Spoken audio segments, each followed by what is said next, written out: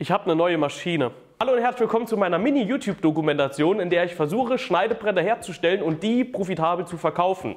Ich nehme euch auf dem Weg mit und was haben wir denn bis jetzt in dieser Mini-Dokumentation schon gemacht?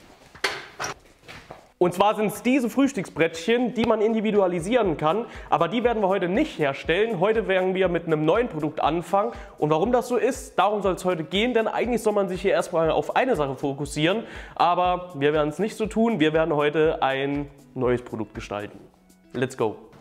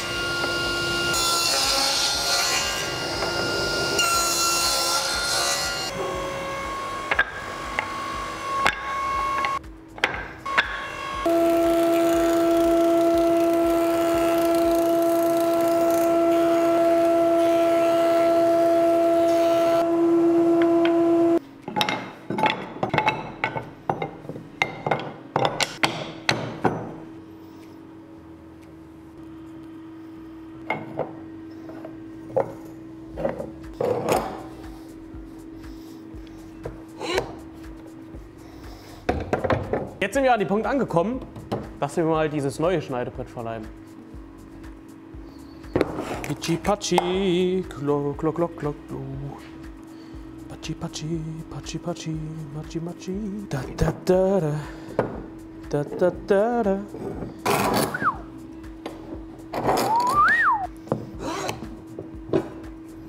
Oh, ich glaube, das gefällt mir richtig gut, das da. Jetzt haben wir 17.20 Uhr, 17 Uhr 20.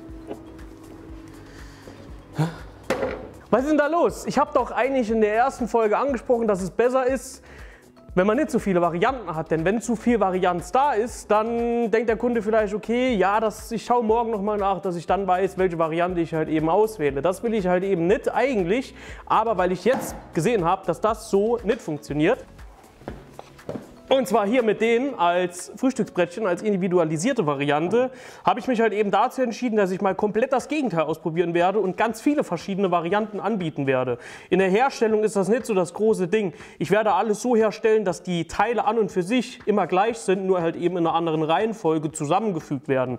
Das heißt, was die Herstellung angeht, ist kein großes Problem, aber der Kunde hat halt jetzt ein riesen Repertoire, wo er halt eben Ausschau halten kann, was ihm halt eben gefällt. Denn das hier ist bis jetzt gar nicht gut angekommen, denn ich habe erst ein Schneidebrett an einen Instagram-Zuschauer verkauft. Aber mehr dazu später. Es ist mal wieder an der Zeit für ein Voice-Over. Hier will ich zwei Punkte ansprechen. Erstmal der erste Punkt. Das ganze Videomaterial stammt aus dem Oktober 2022. Ich beziehe mich deswegen nicht mit meiner Aussage, dass das Ganze nicht aufgeht, auf die Kommentare. Ich beziehe mich auf das grundlegende, auf die grundlegende Funktion. Das würde aber den Rahmen jetzt derzeit ein bisschen sprengen. Dazu gibt es bald weitere Informationen.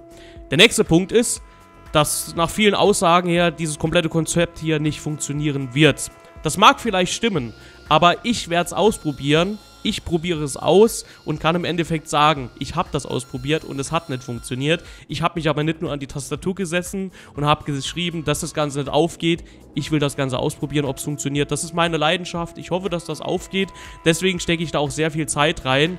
Aber ich schreibe nicht einfach nur unter ein Video, das funktioniert sowieso alles nicht. Dann würden wir alle noch in der Steinzeit sitzen. Dazu nur die paar Worte, die ich gerade verloren habe. Eine ganze Bank voll mit Schneidebrettern, die ich hoffentlich ganz, ganz schnell verkaufen werde, damit ich direkt nochmal neue machen kann. Und zwar seht ihr auch hier schon die ersten Varianten von den neuen Arten, aber die werde ich euch im genaueren auch später noch zeigen. Aber jetzt kommen wir zu einem der wichtigsten Schritte, wie ich finde, wenn dann später das Öl nämlich draufkommt, damit das Ganze auf Dauer auch glatt bleibt. Und zwar ist das halt eben das Wässern. Aber ich habe eine neue Maschine. Das werde ich euch noch ganz kurz hier zeigen. Das wird in einem separaten Video wird da ein bisschen mehr drüber kommen. Aber ich zeige es euch mal kurz. Und zwar ist es eine Pendelsäge geworden.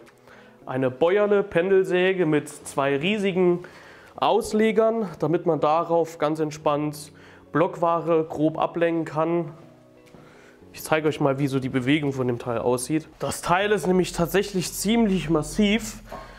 Man hat hier einen Hebel, dann ist das Ganze quasi entriegelt und dann kann man die Maschine nach vorne ziehen. Hier unten ist ein riesiger Motor drauf mit 3 kW. Und ich bin mal gespannt, wenn ich das Teil zum ersten Mal anwerfe. Richtig schön, schönes Teil auf jeden Fall. Kann man auch schwenken und so weiter und so fort. Aber wie gesagt, das wird es dann bald in Zukunft geben, weil das Teil soll extra für, die, für den groben Zuschnitt für diese Schneidebrettrohlinge sein, damit ich das Block, das Blockware, die Blockware halt eben schneller ablenken kann. Thema Wässern. Wir haben da unten einen Eimer voll mit Wasser und das Holz ist jetzt schon eigentlich relativ glatt, aber wir merken jetzt, wenn wir das nicht ins Wasser halten, dass das direkt rau wird. Jetzt geht es noch ein bisschen, aber wenn das Ganze hier getrocknet ist, dann wird man wirklich merken, dass die Oberfläche wieder ziemlich rau geworden ist. Und das Schöne ist auch, dass man jetzt schon so ein bisschen sieht, wie das Holz halt eben später aussieht, wenn man es geölt haben.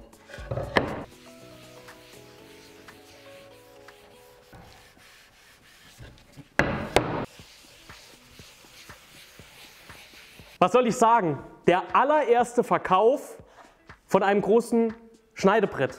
Kevin, vielen lieben Dank. Du bist der aller, allererste Kunde von meiner YouTube-Dokumentation, der sich hier so ein Schneidebrett bestellt hat. Und zwar habe ich auf Instagram gezeigt, hey, schaut mal, ich mache Schneidebretter und wenn ihr wollt, könnt ihr das halt eben jetzt vorab bestellen. Ich habe da ganz einfach ein paar Bilder bei Instagram in der Story hochgeladen und der Kevin hat sich für dieses hier entschieden. Da werden jetzt auch noch bei den anderen noch Gummifüße runtergesetzt, damit halt eben die Schneidebretter sicher aufstehen, man es besser greifen kann und die halt eben immer solide auf der Arbeitsoberfläche stehen. Außerdem kann man da noch besser drunter greifen und das ist einfach eine gute Kombination. Wofür ist dieser Kanal mittlerweile bekannt? Für die zeitlichen Sprünge, dass irgendwie teilweise vier Monate manchmal dazwischen liegen. Ich glaube, jetzt sind es anderthalb oder zwei Monate, die dazwischen liegen. Ähm, aber ich zeige euch mal, wie die Schneidebretter geworden sind. Das ist das Never-Ending Project hoffentlich. Jetzt nochmal hier, passen auf. Die Schneidebretter sind jetzt auch fertig. Ich habe noch keins davon, doch ich habe eins verkauft. Das ist so bitter. Aber wie gesagt, darum geht es wahrscheinlich wohl in einem anderen Video. So sind die Schneidebretter geworden. Sind sehr, sehr schön geworden. Ich benutze auch selbst natürlich eins daheim und es sind sehr, sehr gute Anwendungen. Wenn ihr ein Schneidebrett haben wollt, es sind jetzt sieben Stück vorrätig. Das muss auf jeden Fall noch ein bisschen mehr werden und das muss auf jeden Fall auch noch ein bisschen mehr im Abtrag werden, beziehungsweise im Verkaufe. Ähm, ich weiß gar nicht mehr, was die letzten Videoaufnahmen von diesem Projekt hier waren. Ich habe es ja am Anfang so ein bisschen angesprochen. Ich habe ja eigentlich die Schneidebretter hier. Mit denen habe ich angefangen. Davon gibt es drei verschiedene Varianten. Einmal in Esche. Die werden auch nicht mehr, äh, nicht mehr gelasert. Warum das? Gibt es auch in einem anderen Video. Einmal in Esche so ein Frühstücksbrettchen. Mein absoluter Favorite sind hier die Buchen Eschen Frühstücksbrettchen, die man immer noch lasern kann. Da könnt ihr auch eine Individualisierung halt eben auf der Webseite unten in der Videobeschreibung ist es ja verlinkt. Könnt ihr darauf anwenden. Wenn ihr weitere Wünsche habt, kontaktiert mich einfach. Alle Mengen können bearbeitet werden. Also es ist jetzt nicht so, dass nur drei Stück bestellt werden können. Wenn ihr 100 Stück wollt, ist das auch kein Problem. Die Buchenfrühstücksbrettchen gibt es immer noch. Sehr, sehr gutes Holz zum Lasern. Und ähm, genau, ich habe einen Tipp bekommen und zwar wird es bald im Sortiment auch noch individualisierbare Schieferplatten geben. Wird es aber in einem anderen Video geben, da werde ich da ein bisschen genauer drauf eingehen. Da habe ich einen Tipp vom Kollegen bekommen, dass man das gut herstellen kann. Und ähm, genau, wie gesagt, das wird dann bald auch noch, was die individualisierbaren Geschichten angeht, wird dann auch noch dazukommen. Und ähm, ich hoffe, ihr nehmt es mir jetzt nicht böse, dass das da Ende heute gar nicht zu dem vorherigen Videomaterial passt. Aber komm, ich habe noch einen Sneak Peek für, für euch. Und zwar seht ihr hier meine Computerecke, Versandstation. Und jetzt, wer kann sich daran noch erinnern? mein OSB-Schrank, mein Regal, wo ich in meinem Kinder, damit habe ich mit meinem Kinderzimmer angefangen. Da war alles hier drin. Da war alles drin. Ja. Genau. Da habe ich noch einen Laser. Ich habe jetzt einen 3D-Drucker hier in der Werkstatt. Ihr seht hier den Laser und jetzt hier mal als eine Sneak Preview, was bald als Video kommt. Ich habe einen Laser und jetzt habe ich hier diesen schönen Schrank. Der könnte vielleicht für einen Laser sein. Also Leute, ich will mit dem Kanal hier Videos machen, die professionell sind. Glaubt man mir, oder?